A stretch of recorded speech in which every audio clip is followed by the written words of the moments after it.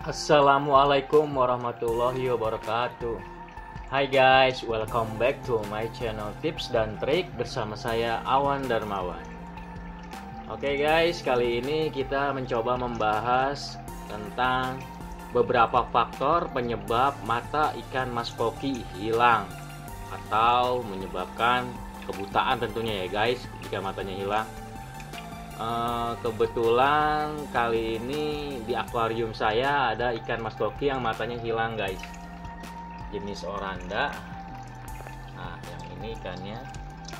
Dia belum mendekat. Nah ini dia. Matanya hilang guys. Mata kirinya. Nah ini mata kanannya masih ada. Bisa dilihat dari sisi kanan masih ada. Nah ini dia. Nah ini mata kirinya hilang guys. Nah, bisa saksikan sendiri matanya hilang. Nah pengalaman yang saya mau bagikan kali ini adalah berdasarkan eh, sifatnya agak spekulatif ya guys.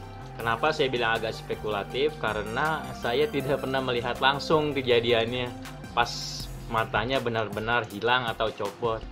Jadi saya melihat berdasarkan tingkah laku ikan-ikan yang ada di akuarium saya saja dan berdasarkan baca-baca artikel. Nah guys, di akuarium saya ini saya kan memelihara beberapa jenis ikan mas koki.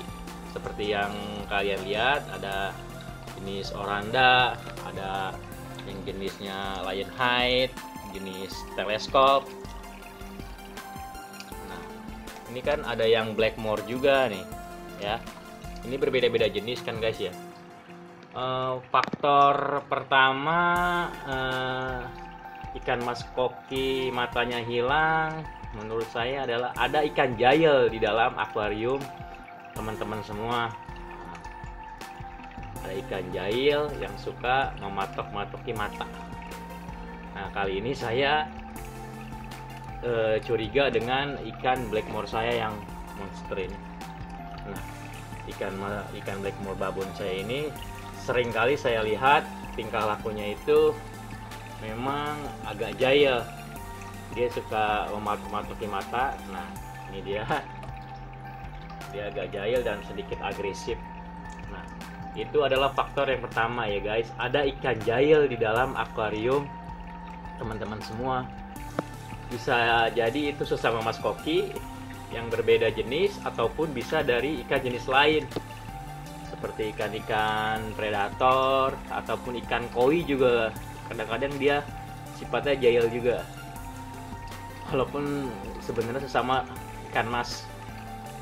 Apalagi ikan-ikan yang sifatnya ikan-ikan predator. Nah makanya sebisa mungkin uh, agak kalian cermati ya tingkah laku ikan-ikan ini. Nah itu faktor yang pertama. Dan faktor yang kedua menurut saya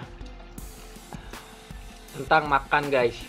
Jadi pemberian makan yang kurang menyebabkan ikan sedikit lebih agresif. Nah, apalagi ditambah dengan faktor perbedaan ukuran. Seperti ini ada ikan blackmore yang babon ukurannya kan sangat besar. Nah sedangkan oranda ini ukurannya sangat kecil. Sangat memungkinkan ikan ini mata ikan ini kan Mas Koki kan sedikit menonjol ya guys. Jadi kemungkinan itu sangat menarik jika dalam kondisi kelaparan. Bisa jadi ikan mata Mas Koki itu eh, dikira makanan lalu si ikan besar tadi itu eh, langsung eh, menyerangnya seperti makanan. Sehingga copotlah ikan Mas Koki matanya. Nah, itu aja guys mungkin yang bisa saya bagikan atau saya berikan. Jika anda mempunyai spekulasi lain tentang penyebab mata ikan mas kopi jatuh ataupun hilang copot mungkin bisa ketik di kolom komentar.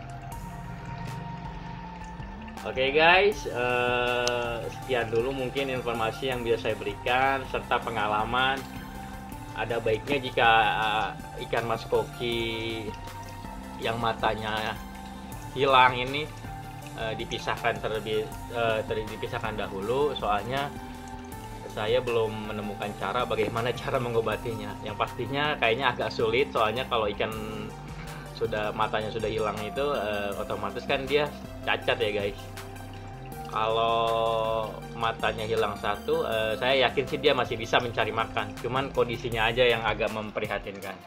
Seperti ini. Ikan mat yang matanya cepat dua pun saya lihat masih bisa hidup dan mencari makan.